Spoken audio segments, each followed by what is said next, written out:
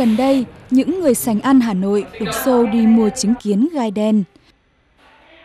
Dù giá không hề thấp, khoảng từ 450.000 đồng đến 700.000 đồng một kg, nhưng mặt hàng này vẫn khá hút khách. Thậm chí có người còn mua gần chục kg về dùng dần. Một trong những nguyên nhân khiến trứng kiến gai đen được người dân ưa chuộng là do những tin đồn về khả năng chữa bệnh của nó. Mỗi một ngày thì tôi ờ, giao khoảng tầm từ 50 cân trên một tạ chứng kiến cho uh, các nhà hàng và các người dân người ta mua về để ờ, người người ta dùng uh, để cho trẻ con hoặc là để uh, dùng thực phẩm trong các bữa ăn để tăng cường uh, cái uh, sức đề kháng cho con trẻ.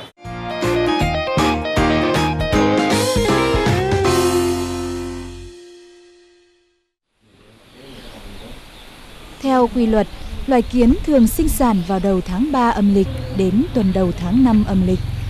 Sau thời gian này, trứng sẽ nở thành con.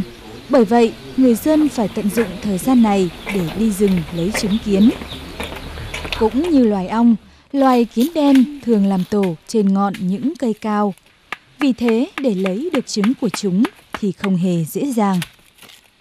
Tổ kiến sau khi được lấy từ trên cây xuống sẽ được người dân tách kiến và những tạp chất khác ra, sau đó lấy trứng.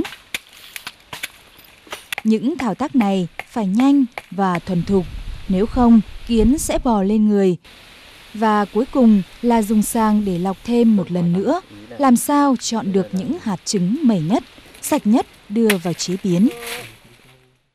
Mà khi lấy thì nó cũng rất khó khăn, lấy xuống thì nó đốt lắm, nhưng mà mình phải biết cách của mình chứ biết cách và mình phải thao tác nhanh chứ không để nó bò lên người là nó nó đốt ngay.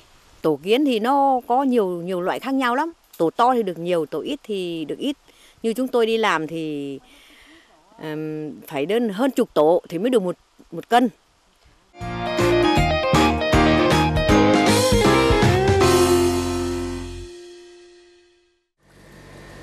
Chứng kiến sau khi được thu hoạch có rất nhiều tạp chất như đất cát, lá cây.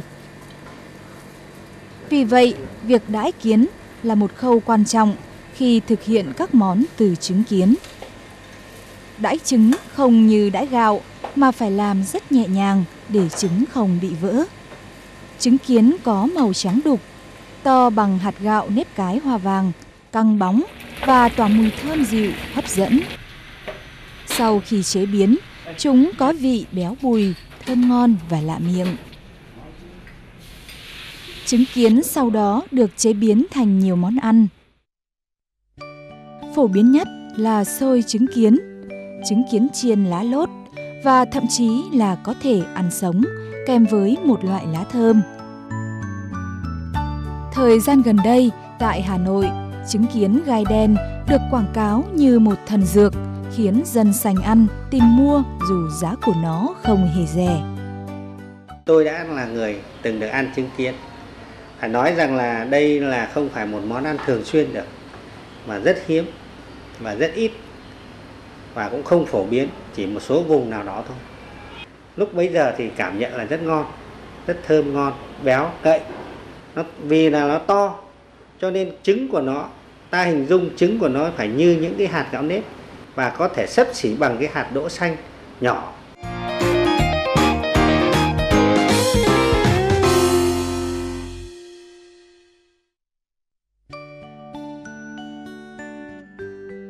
chứng kiến gai đen từ lâu đã được các nhà khoa học quan tâm về giá trị dinh dưỡng cũng như dược tính của nó. Các nhà khoa học đã chỉ ra rằng chứng kiến gai đen có chứa 31 nguyên tố vi lượng cùng các vitamin A, D, E, B1, B2 và B12. Giá trị dinh dưỡng của trứng kiến gai đen rất cao. Riêng chất đạm chiếm tới 42 đến 67%, bao gồm 17 axit amin, trong đó 8 axit amin không thay thế được.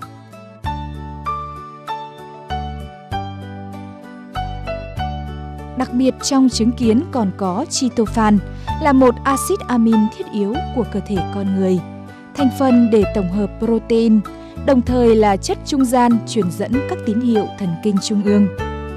Chính chất này làm nên công dụng của trứng kiến gai đen.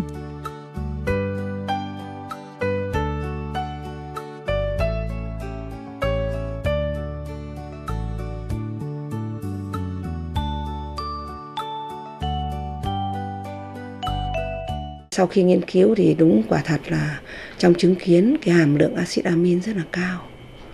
Thế hai nữa là cái nguyên tố vi lượng cũng rất là nhiều. Thế có cả đặc biệt sau này các nghiên cứu cao hơn ở các phòng thí nghiệm nước ngoài ở cái ở Nhật cũng như ở Đức thì họ thấy rằng chứng minh rằng cái hàm lượng axit amin nhất đặc biệt là tryptophan rất là cao. Hàm lượng kẽm cũng được là cao. Hai nữa là cái ờ, uh, arginin đặc biệt arginin mà trong một số tạp chí người ta đã công nhận rằng cái arginin là cái mà để tăng cường cái chức năng sinh học của nam giới thứ hai nữa là một cái, một còn cái nữa, tức là về nói, về chứng kiến thì người ta cái, có cái hay một cái, tức là cái hàm lượng progesterone và testosterone khi mà được cái tài trợ kinh phí của Bộ Khoa học Công nghệ chúng tôi đánh giá thì hàm lượng đấy nó ngang với nhau. Thế chính vì vậy cho nên trong cái sách y học cổ người ta đã nói là chứng kiến là cải lão hoàn đồng không phải để cho nam giới hay là cho nữ giới mà nó thường ấy, nó tiệu cái khi mà chúng tôi cho cái cái cái, cái cho cái chuột nó uống thì là cái trọng lượng túi tinh của cái giữa cái lô trứng uống nước và một lô gọi chúng tôi gọi là trứng âm tức là uống nước không dùng cái gì cả. Một cái là tô trứng ờ, dương là uống testosterone ấy thì tôi thấy là cái trọng lượng túi tinh của lô mà uống trứng kiến ấy cao hơn rất nhiều so với lô uống nước thế và tất nhiên sẽ phần còn kém hơn so với lô uống testosterone Kết quả nghiên cứu trên phù hợp với một số nghiên cứu của Trung Quốc khi sử dụng bột kiến để phòng trị bệnh viêm khớp dạng thấp, liệt dương, hoa mắt tuổi già, viêm gan mãn tính, mất ngủ.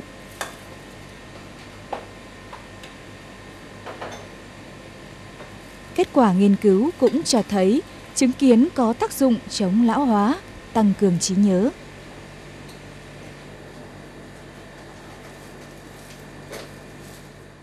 chúng tôi mới đưa ra một cái cái cái cái cái cái cái giả thuyết là cái cái tăng cường trí nhớ thì đâu có thể là tại sao các cụ già ở các già bản đấy thường hay được ăn trứng kiến thì để người ta nhớ lâu lắm người ta có thể là sống được lâu năm hai nữa người ta cũng nhớ lâu tất cả những bộ tộc của họ thì cũng chính là có thể làm chữa cái bệnh Alzheimer đấy. Đầu tiên chúng tôi chỉ nghĩ đến chống Alzheimer cho các cụ tuổi già, hai là chống stress để cho để cho chăm sóc cái sức khỏe tâm thần cho cộng đồng.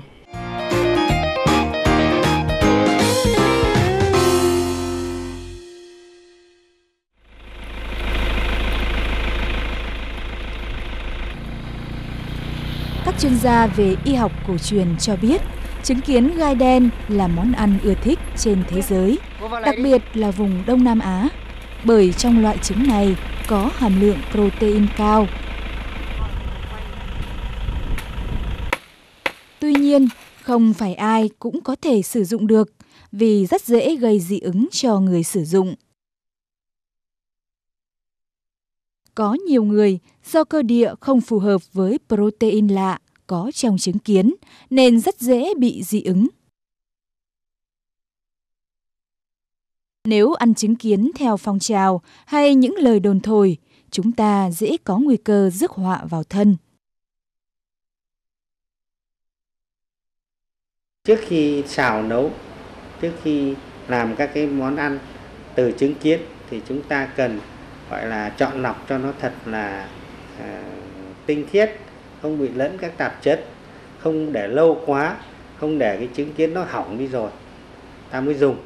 Ở Malaysia chẳng hạn thì người ta nuôi kiến lấy trứng và người ta đã khẳng định được loài ABCDE này chẳng hạn là có thể ăn được, loài kia không ăn được.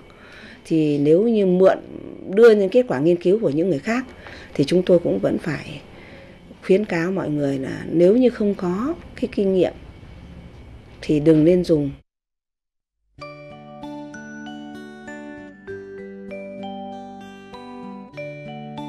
Điều đặc biệt lưu ý là nếu không có nguồn trứng kiến tươi, sạch, có nguồn gốc rõ ràng và chế biến kỹ thì vô tình người dùng tự đưa vào cơ thể mình nguồn vi khuẩn có hại. Bên cạnh đó, nơi kiến sống thường ẩm thấp có thể mang theo ký sinh trùng gây bệnh. Vì thế, trứng không được chế biến sạch có thể khiến chúng ta ăn phải những ấu trùng lạ gây độc cho cơ thể. Việc tùy tiện dùng trứng kiến có thể khiến người ăn tiền mất tật mang.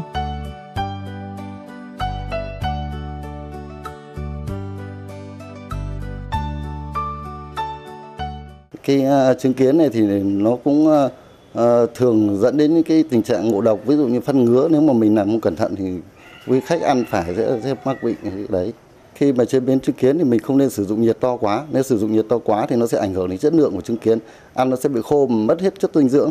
Đấy, hai nữa là nó sẽ ảnh hưởng đến người ăn bởi vì nó hay dẫn đến ngộ độc.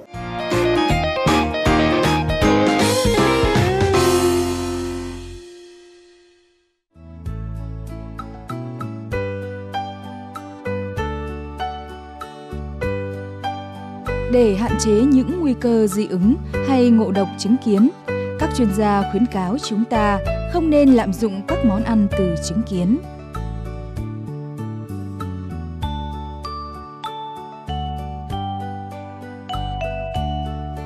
Chọn lựa những điểm bán trứng kiến uy tín lâu năm.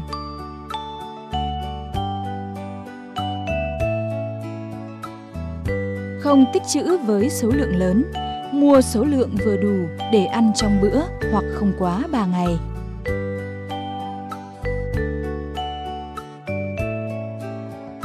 Khi ăn, cần chế biến cẩn thận, loại bỏ những ấu trùng lạ, bỏ trứng có mùi hôi.